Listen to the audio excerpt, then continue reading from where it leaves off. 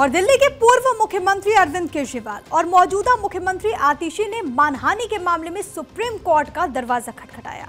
ये केस अग्रवाल समाज का नाम वोटिंग लिस्ट से काटने वाले दावे से जुड़ा हुआ है। मानहानि मामले में केजरीवाल और आतिशी ने दिल्ली हाईकोर्ट के फैसले को सुप्रीम कोर्ट में चुनौती दी और सुप्रीम कोर्ट 27 सितंबर को यानी कि कल दायर याचिका पर सुनवाई करेगा। ऐसे मानहानि का ये मामला क्या है, वो आपके लिए जानना ज़रूरी है। तो आपको समझा देते हैं कि आखिरकार ये जो पूरा केस है, वो क्या है। देखिए, दिसंबर 2018 में अरविंद केजरीवाल ने एक ट्वीट किया था। ये पूरा मामला 2018 का है। इसमें केजरीवाल ने लिखा था कि अग्रवाल समाज के चार लाख वोटर्स के नाम काटे गए हैं। उन्होंने इस बात का ज़िक्र किया और ये कहते हैं कि दिल्ली में कुल आठ लाख वोट हैं। इन आठ लाख वोटर्स में से करीब चार लाख लोगों के नाम बीजेपी ने कटवा दिया। दावा था कि चार लाख वोटर्स के नाम काटे गए हैं।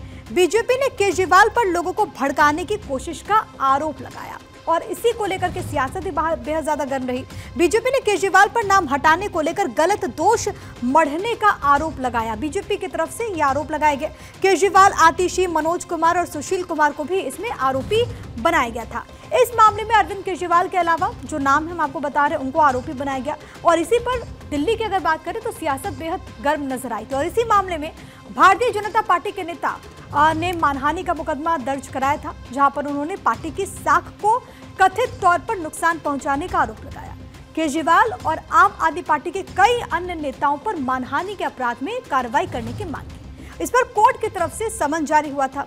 अब इसमें और जो बड़ी बात है, वो भी आपको जरा समझाते हैं। देखिए, केजरीवाल और आतिशी को निचली अदालत ने इस पूरे मामले में, यानी कि मानहानि के मामले में समन भेजा। पेश होने के आदेश दिए गए। इसके खिलाफ, समन के खिलाफ आतिशी और केजरीवाल पहुँचे हाईकोर्ट उसके बाद मुकदमे को रद्द करने की मांग दोनों की तरफ़ से यहाँ पर की गई थी। बीजेपी ने केजरीवाल पर लोगों को भड़काने की कोशिश का आरोप लगाया। कोर्ट ने केजरीवाल, आतिश और अन्य को ट्रायल कोर्ट के सामने पेश होने के आदेश दे दिए।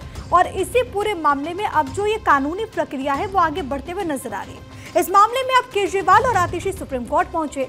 27 सितंबर को यानी कि कल सुप्रीम कोर्ट सुनवाई करने वाला है।